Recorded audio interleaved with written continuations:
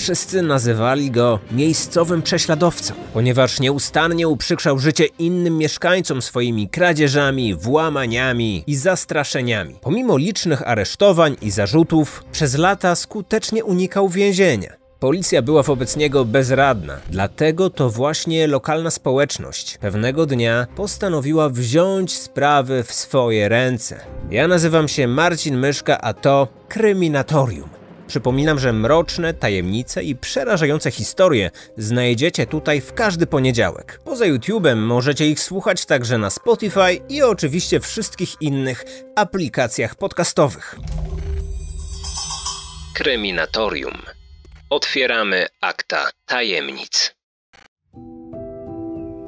Amerykańska miejscowość Skidmore w stanie Missouri liczy dziś mniej niż 250 mieszkańców. Większość z nich zajmuje się rolnictwem. W tak niewielkiej i zamkniętej grupie każdy siebie zna z imienia i nazwiska, co chyba nikogo nie powinno dziwić. Tamtejsza społeczność od zawsze miała mieszane odczucia względem wymiaru sprawiedliwości.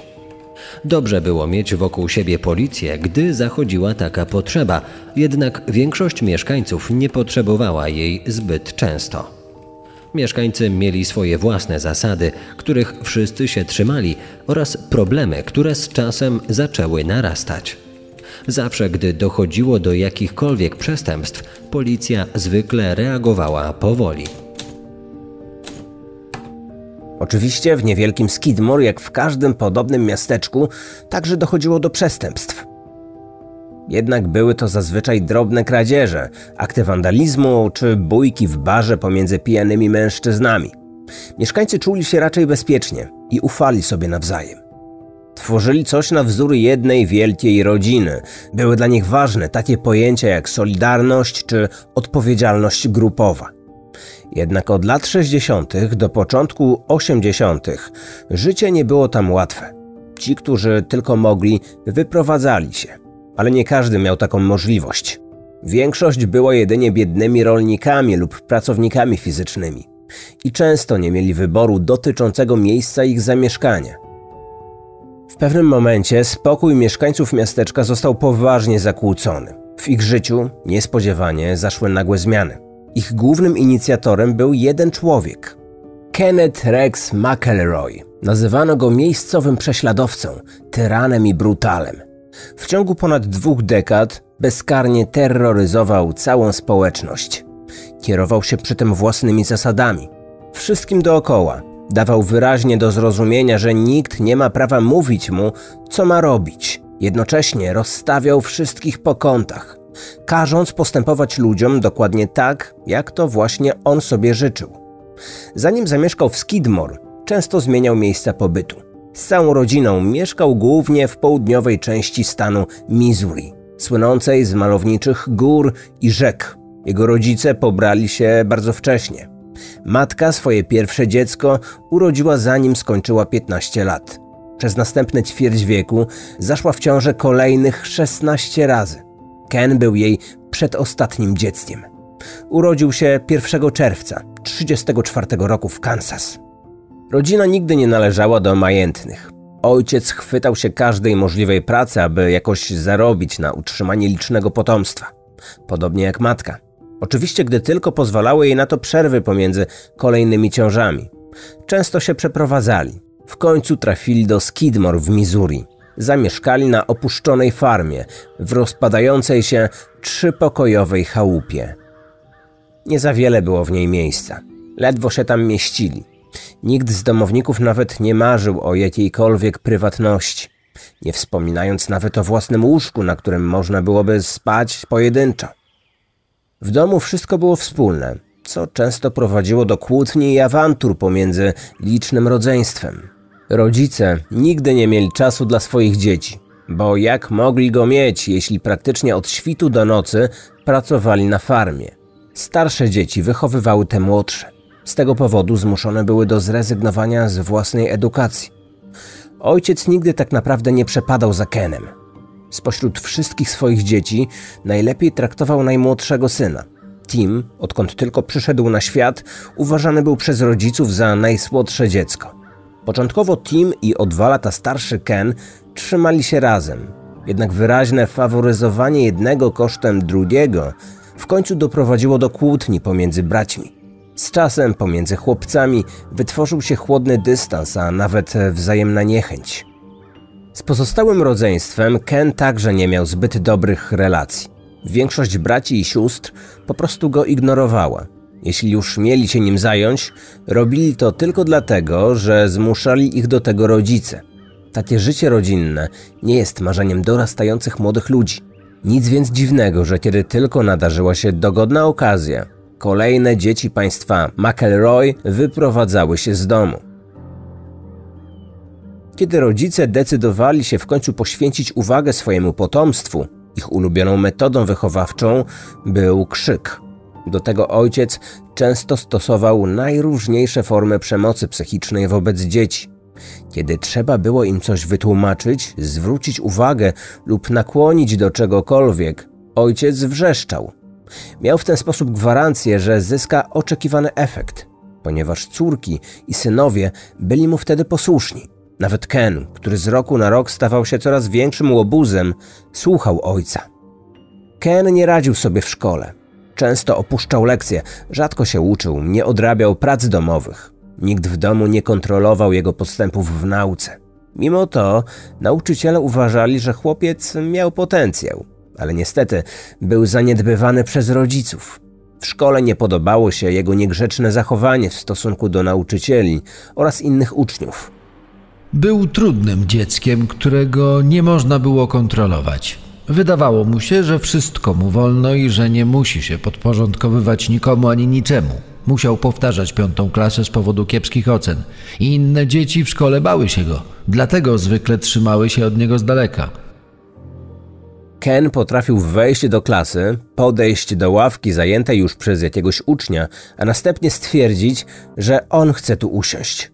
Nikt nie chciał narazić się szkolnemu prześladowcy. Dlatego wszyscy posłusznie mu ustępowali, przechodząc w inne miejsce. Jego zła reputacja zaczęła się już pierwszego dnia w szkole, kiedy zaczął grozić nożem innym uczniom. Jednak, co ciekawe, nikt nigdy nie widział, aby chłopak faktycznie zrobił komuś krzywdę na terenie szkoły. Zawsze kończyło się na groźbach, ponieważ inni nie chcieli z nim zadzierać. Podejrzewali, do czego może być zdolny. Jego groźny wyraz twarzy, wysoki wzrost i wysportowana sylwetka były skutecznym straszakiem. W wieku 15 lat postanowił rzucić szkołę.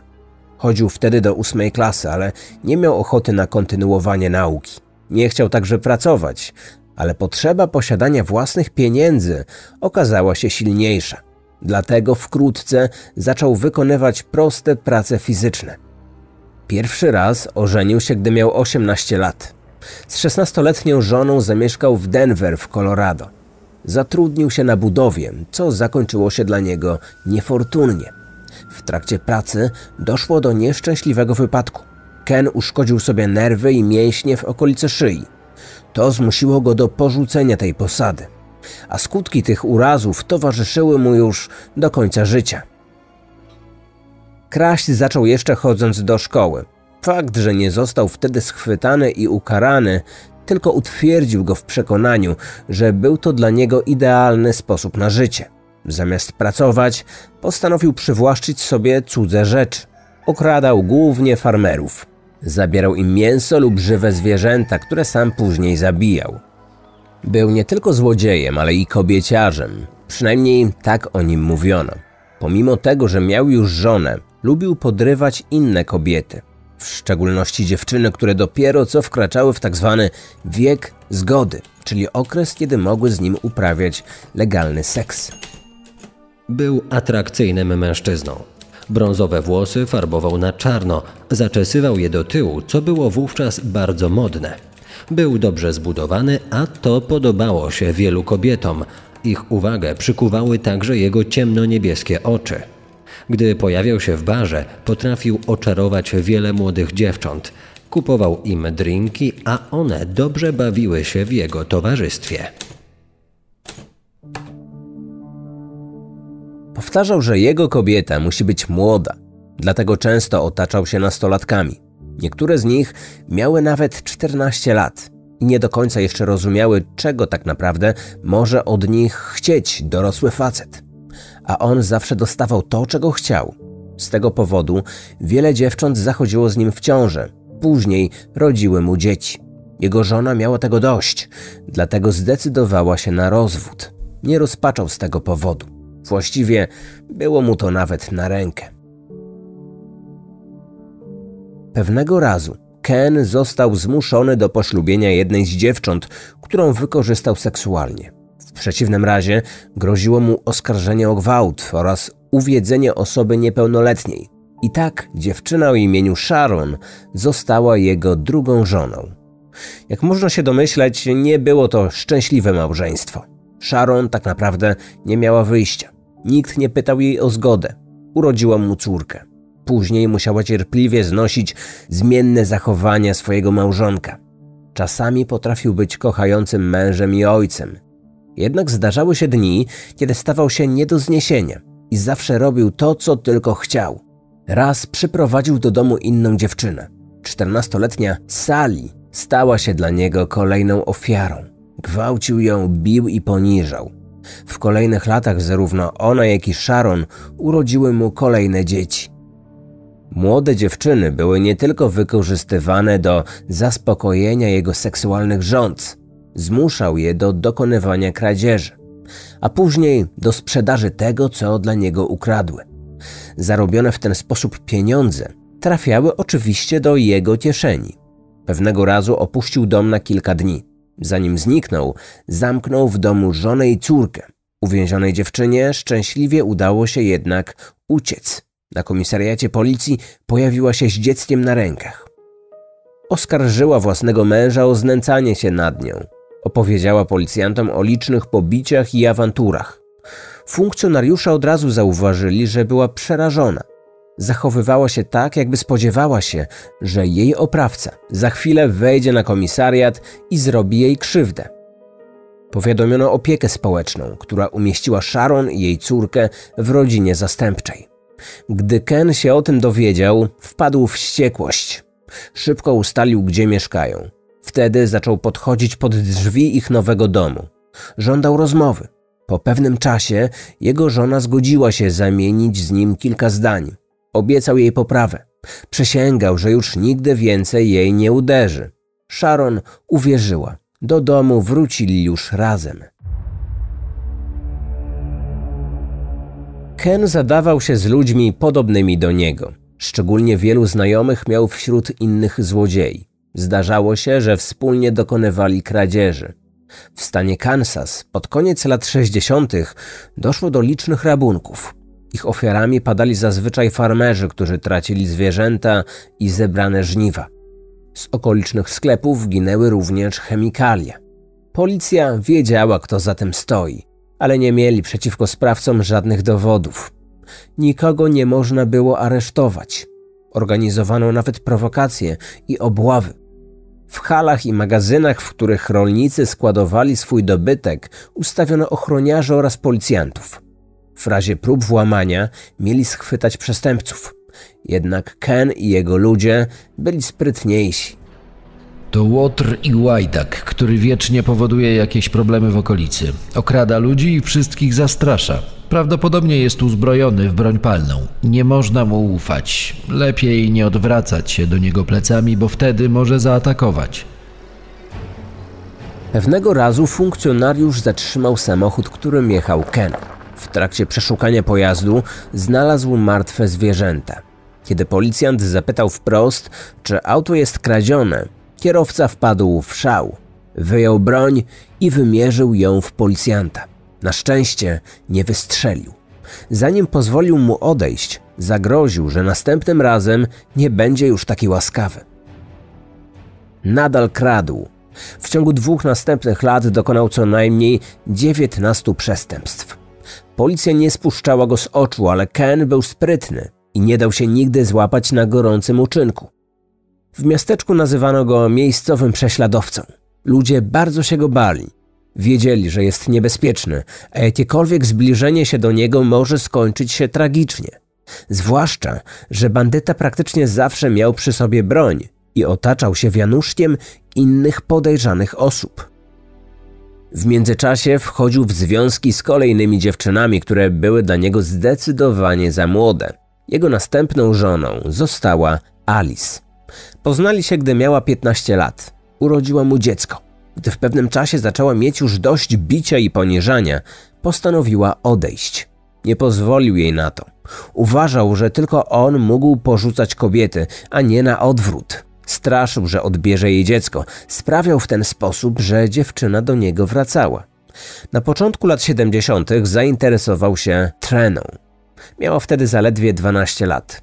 Przyjaźnił się z jej rodziną i w ten sposób udało mu się zdobyć zaufanie tego dziecka.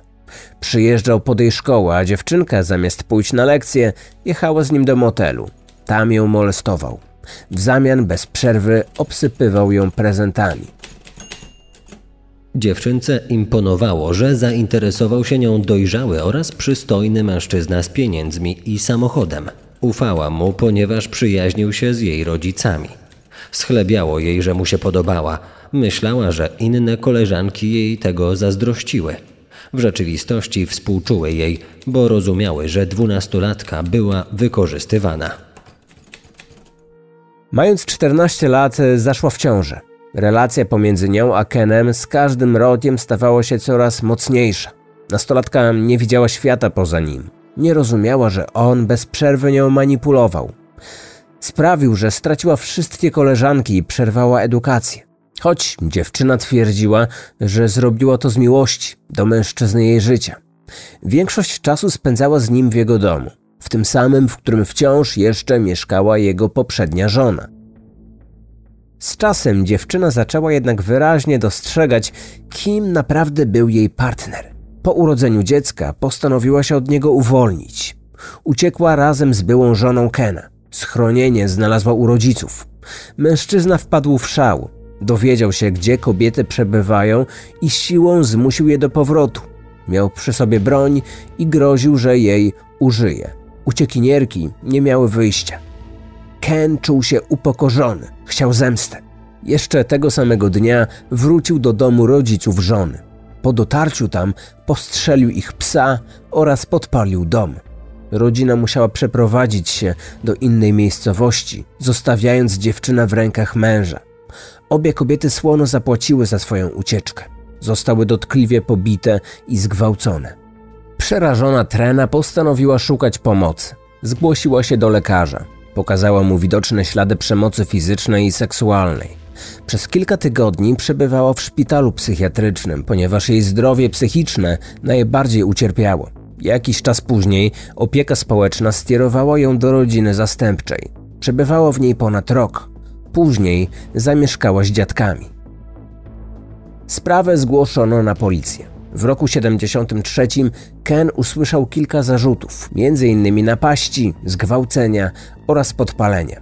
Został aresztowany, ale szybko wypuszczono go, ponieważ wpłacił kaucję. Po wyjściu na wolność dowiedział się, gdzie przebywa żona i ich dziecko. Tak jak czynił to zawsze w podobnych przypadkach, zaczął nachodzić ten dom. Groził również mieszkającej w nim rodzinie.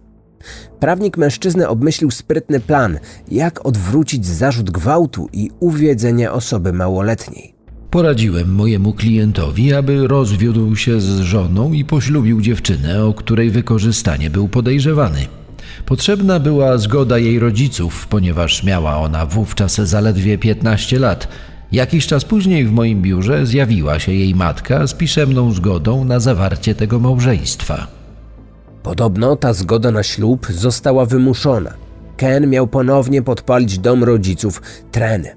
Z obawy przed niebezpiecznym mężczyzną, matka dziewczyny wyraziła swoją zgodę na zawarcie związku małżeńskiego przez jej córkę. Kiedy Trena została jego żoną, wycofała wszystkie wcześniejsze zarzuty.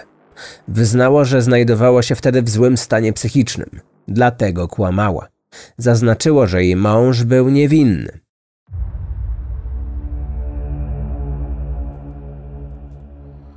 Małżeństwo zamieszkało razem na farmie w Skidmore. Wkrótce na świat przyszły ich kolejne dzieci. Oficjalnie Ken miał mieć łącznie dziesięcioro. z różnymi kobietami, choć plotkowano, że w rzeczywistości miał ich znacznie więcej.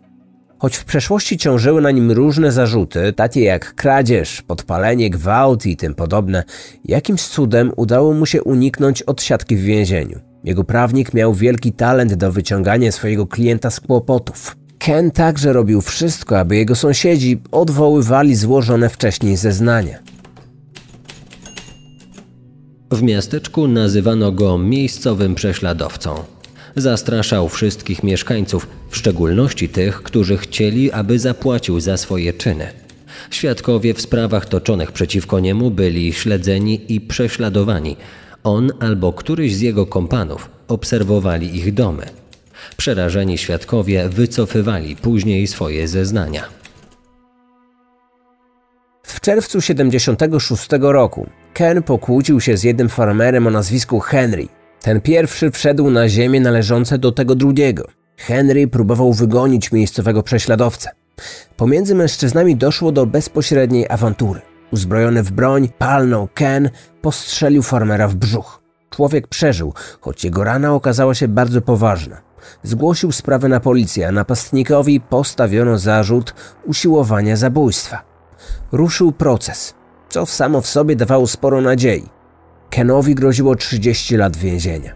Oskarżony zdawał sobie sprawę z tego, że może nadejść jego koniec. Nie mógł na to pozwolić. Wykorzystując swoje stare metody, nakłonił kilka osób, aby zeznawały na jego korzyść. Ostatecznie kilka osób zapewniło mu żelazne alibi. Uniewinnienie było tylko formalnością. Kolejne przestępstwo uszło mu na sucho. Mieszkańcy Skidmore byli jeszcze bardziej przerażeni niż wcześniej. Czuli się przede wszystkim bezsilni.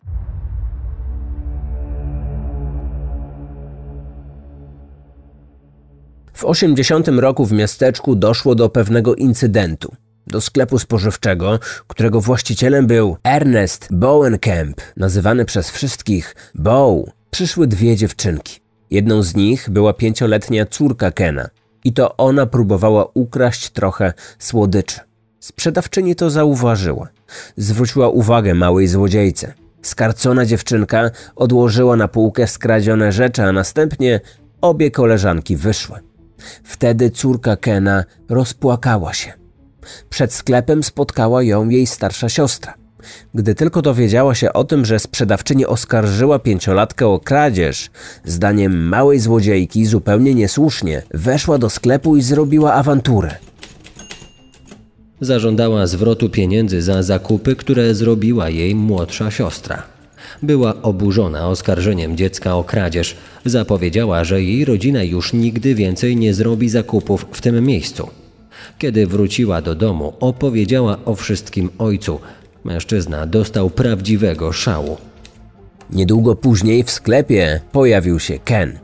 Właściciel i jego żona słyszeli różne rzeczy o tym człowieku, ale nigdy wcześniej nie mieli z nim do czynienia. Rozmowa, jaka wywiązała się wtedy między nimi a ojcem pięciolatki, nie była zbyt miła. Dodatkowo agresywny ojciec trzymał w ręku nóż. To wystarczyło, aby wzbudzić strach u swoich rozmówców.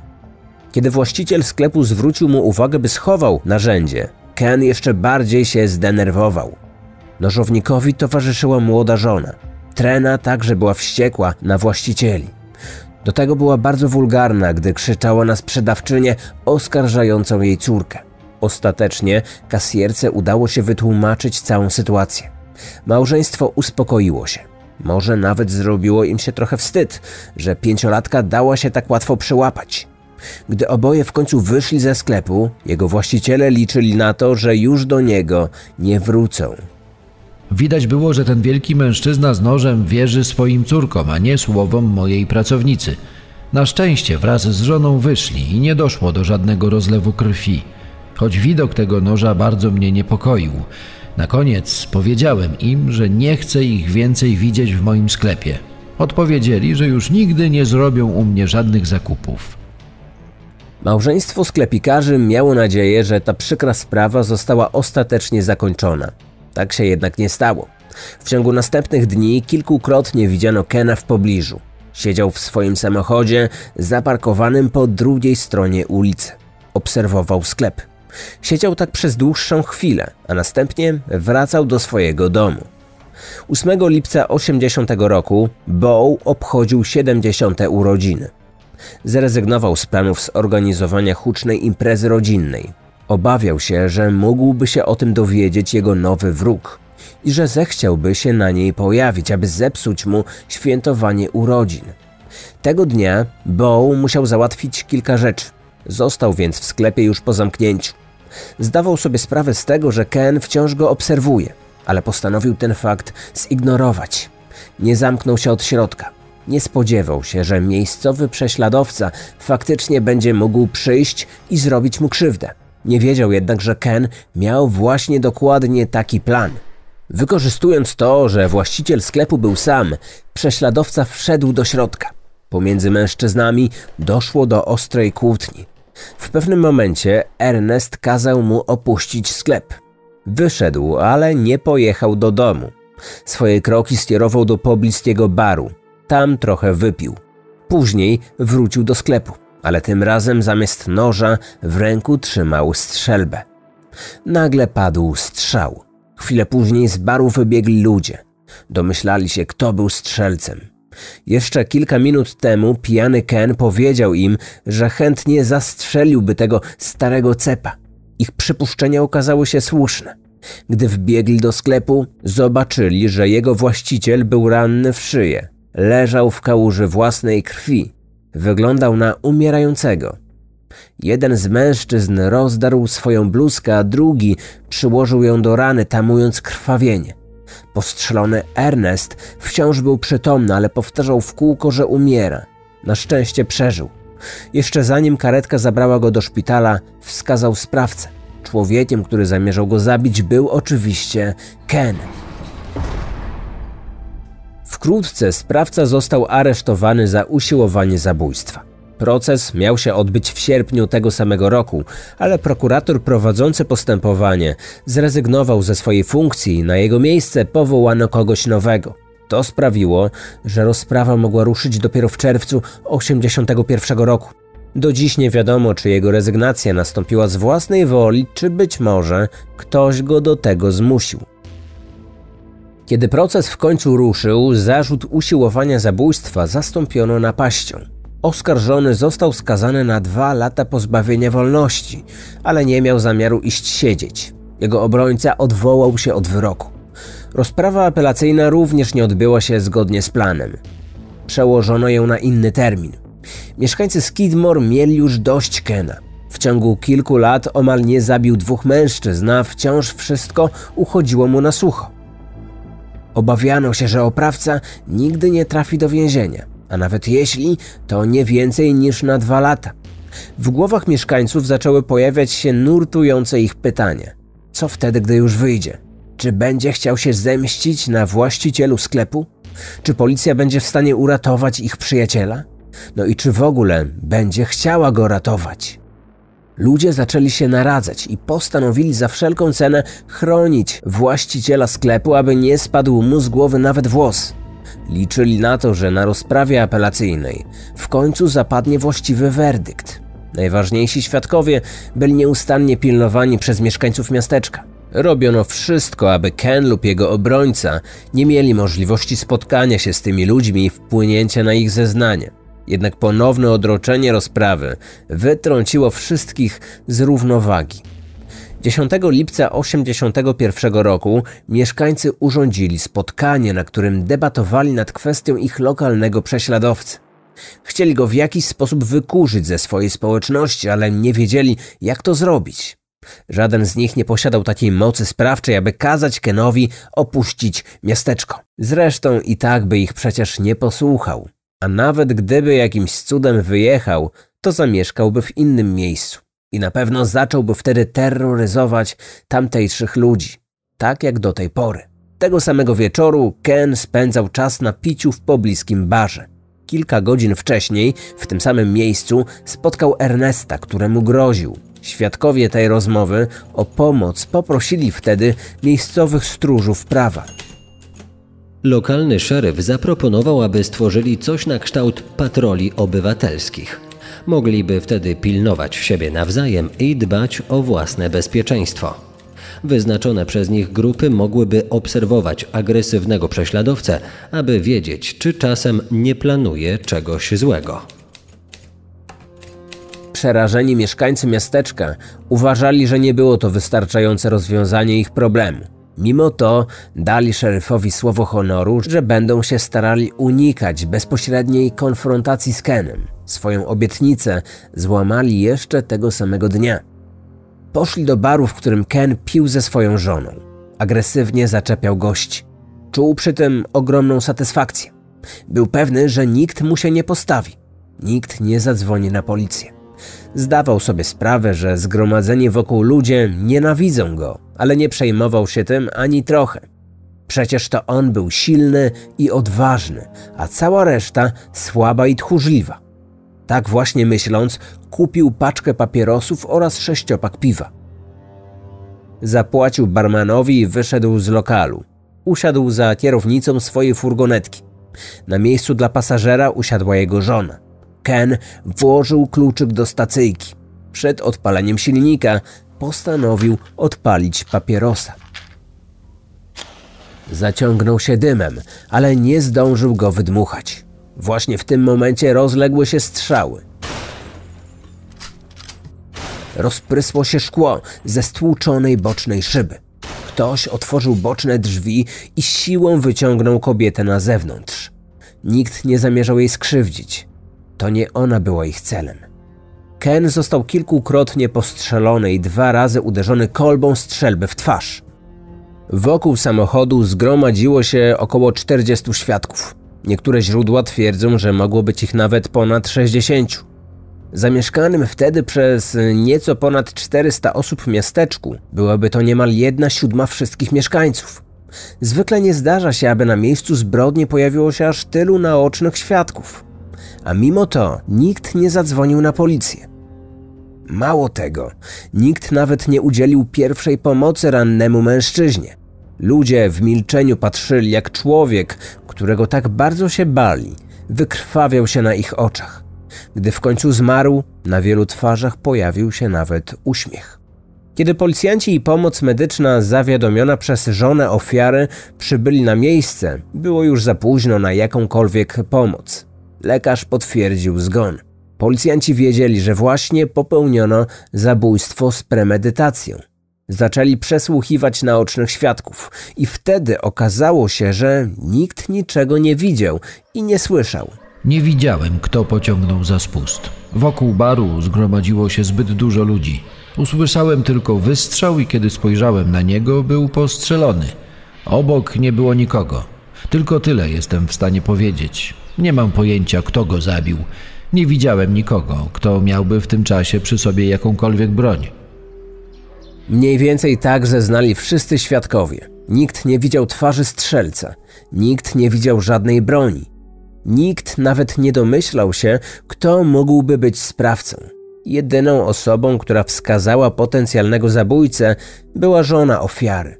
Kobieta zeznała, że był nim niejaki Del Clement, Mężczyzna od lat mieszkał w Skidmore, ale akurat jemu Ken nigdy nie zrobił nic złego, zatem teoretycznie nie miał motywu.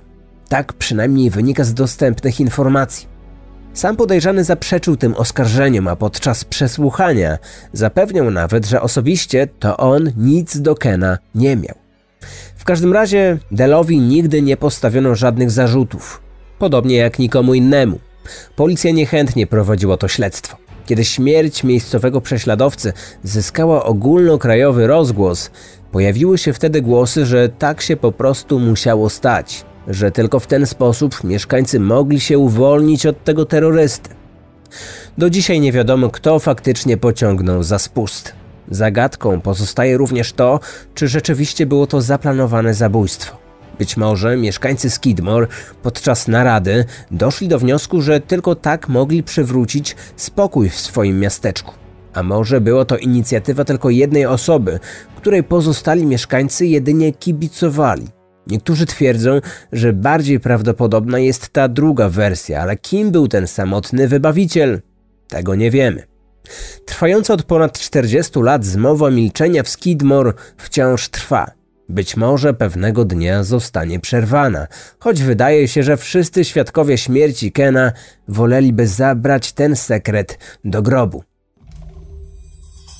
Odcinek powstał na podstawie książki zatytułowanej In Broad Daylight autorstwa Harego N. McLeana. Ponadto wykorzystano takie źródła informacji jak AP News, Washington Post i History Collection oraz artykuły napisane m.in. przez Beck Haim, Diana Rees i Khalida El Hassana.